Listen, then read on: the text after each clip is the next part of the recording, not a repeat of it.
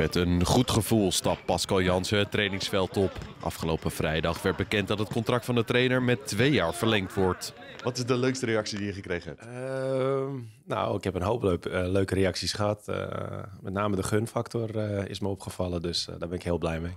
Dan over naar de wedstrijd van zaterdag tegen Sparta. Met nog maar zes wedstrijden te gaan telt ieder punt in de strijd om plek 2. De plek waar AZ wil gaan eindigen dit seizoen.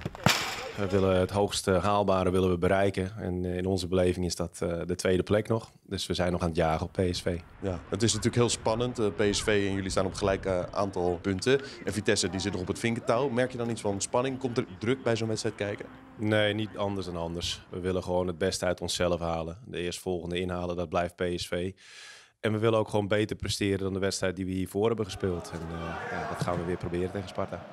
En daar is de winnende treffer. Want dat mag je toch wel verwachten als eh, die zijn tweede van de avond binnenknikt. Dat is een ploeg die wel aardig in vorm is. Laatste vijf wedstrijden ongeslagen. Ja, dat klopt. Inderdaad. Eh, Henk heeft er eh, ja, toch wat veerkracht in gebracht, zoals ik Henk ook ken. Eh, moeilijk te verslaan. Maar goed, eh, aan ons de uitdaging komend weekend om dat wel voor elkaar te krijgen. Koopmeiners, die laat de bal van eh, de voet springen, gaat dan door en krijgt een rode kaart.